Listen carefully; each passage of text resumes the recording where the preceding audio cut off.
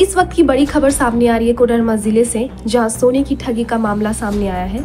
घटना तिलैया थाना क्षेत्र की है, जहाँ हॉलमार्क वाले सोने के कंगन दिखाकर अलग अलग बैंकों से लोन लेकर ठगी किया जा रहा था। ये मामला पूरा फर्जी हॉलमार्क से जुड़ा हुआ है। बता दें, अपराधी दलजीत सिंह भाटिया, उनकी पत्नी और अन्य साथी मिलकर बैंकों से गोल्ड लोन लेते थे। और जब ईएमआई चुकाने की बात आती थी, तब कहते थे, पैसे नहीं है, गोल्ड को बेच दीजिए। समझौते के तहत बैंक के द्वारा आर्य ज्वेलर्स के स्वर्ण व्यवसायी को बुलाया गया और उन्होंने सोने का हॉलमार्क देखकर 90 परसेंट वैल्यू लगा दी। लेकिन जब दूसरे स्वर्ण व्यवसायी हिमांशु ने उसी सोने को गलाया तो उससे महज 30 परसेंट की प्रायोरिटी पाई गई। तुरंत ही पुलिस को सूचना दी गई। वही दलजीत सिंह भाटिया सोने तस्करी के मामले में अपने ड्राइवर के अपहरण और उसकी हत्या करने के आरोप में भी जेल जा चुके हैं। फ़िलहाल पुलिस पूरे मामले की जाँच कर रही है।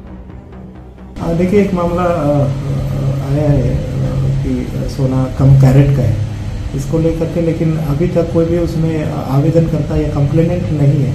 तो पुलिस जाँच कर रही है, अगर कोई उसमें कंप्लेन करता है कि इतना कैरेट का सोना नहीं है, कम कैरेट का सोना बेचा जा रहा है, दिया जा रहा है तो उस पर जाँच करेंगे। अगर कोई भी कंप्लेन आती है तो निश्चित तौर पर जो लोग भी इसमें शामिल हैं, उन पर कार्रवाई देखिए जो बातें आई थी, जैसे जहाँ से हम लोग को सूचना भी मिली थी कि ये बैंक में जा करके लोन मतलब गोल्ड लोन के नाम पे लेता है पैसा, मुथुट बैंक हो, चाहे बाकी बैंक पे हो।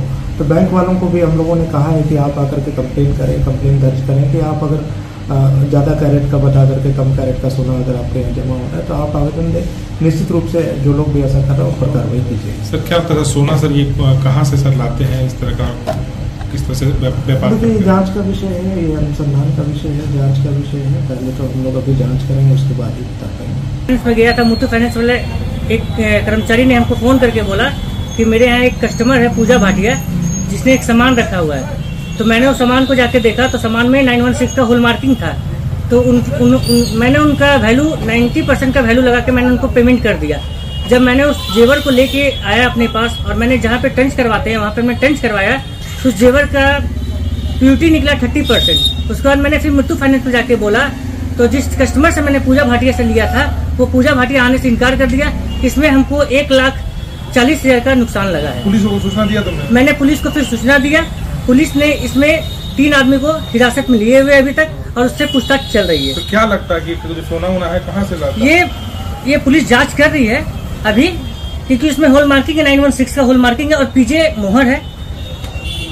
मतलब इसके पीछे कोई सरगना है गेम है? इसमें इसके पीछे बहुत बड़ा सरगना है। ये बहुत जगह तिलिया बाज़ार में बहुत जगह सामान को गिरमी रख रख के पैसा सब जगह से लेते हैं। इन लोग का एक, एक समझ लीजिए कि एक टीम है इन लोग का जो सब जगह से जेवर रख के और पैसा उठाता है। इसमें मुथू फाइनेंस में इन लोग रखे हुए हैं कैनरा बैंक में भी रखे हुए हैं और बैंक ऑफ़ इंडिया में भी रखे हुए हैं। ज़्यादा जानकारी के लिए हमारे सहयोगी पीयूष सिंह फ़ोन लाइन पर जुड़ चुके हैं।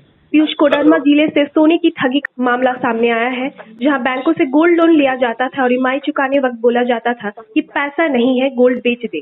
पीयूष, क्या है आगे की जानकारी?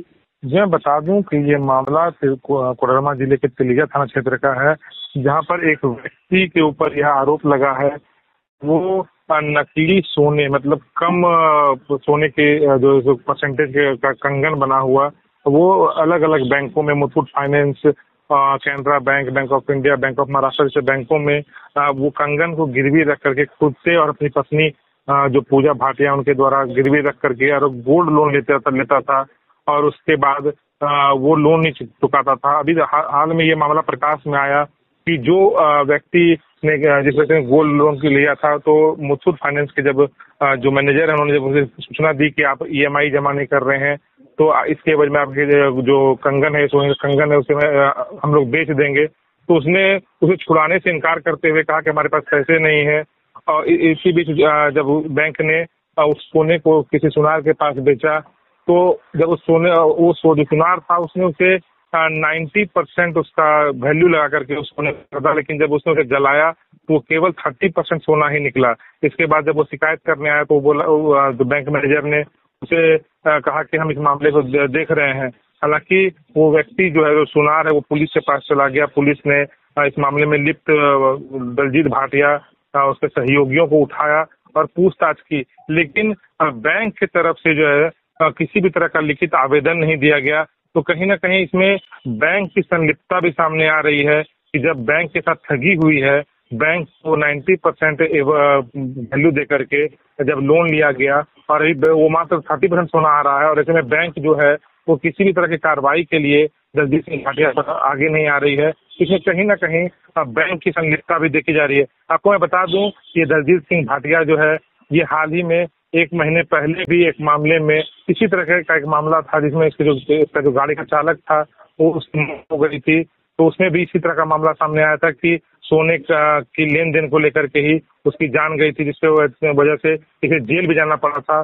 तो उसके बावजूद भी पुलिस इसको बस यह कहकर पीआर बॉन्ड पर छोड़ दी है कि किसी भी तरह का, किसी के भी व्यक्ति के द्वारा इस आदमी के नाम पर आवेदन नहीं दिया गया, शिकायत नहीं की गई है। जी। जी बहुत बहुत शुक्रिया पीयूष आपका।